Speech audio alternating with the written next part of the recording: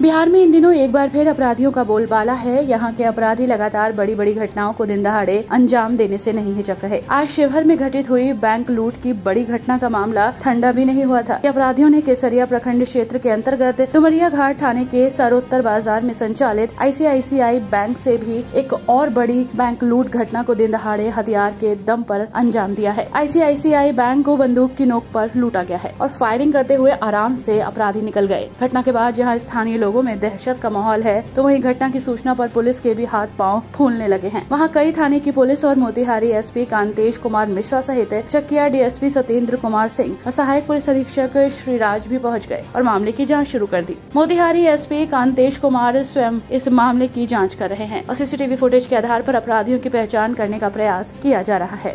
दोपहर करीब तीन बजे की घटना है और चार अपराध कर्मियों द्वारा बैंक में जगह बताया गया है अठारह लाख इकहत्तर हज़ार रुपये की लूट हमारी विशेष टीम यहाँ पर पहुँच गई है। हम लोग हर एंगल से जाँच कर रहे हैं। ए एस सदर इस टीम के नेतृत्व कर रहे हैं और बहुत जल्दी हम लोग अपराधियों को अपराधी कितने की संख्या है? चार की संख्या बताई जा रही है।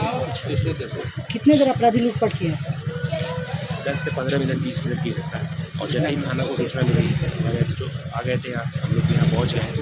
हमारे विशेष टीम हर हर दिशा में अनुसंधान कर रही है और बहुत ही जल्दी हम लोग ग्राहकों से लूट रहे हैं सर। दो ग्राहक से बताया जा रहा है। हम लोग इस बार पूछताछ कर रहे हैं। बैंक द्वारा बताया गया है कि अठारह लाख इकहत्तर हज़ार सर ग्राहकों की मोबाइल की भी बात आ रही है। हम लोग उनसे ही पूछताछ करेंगे पूछताछ लंबी चलेगी। आप लोग को अशरफ आलम की केसरिया से रिपोर्ट।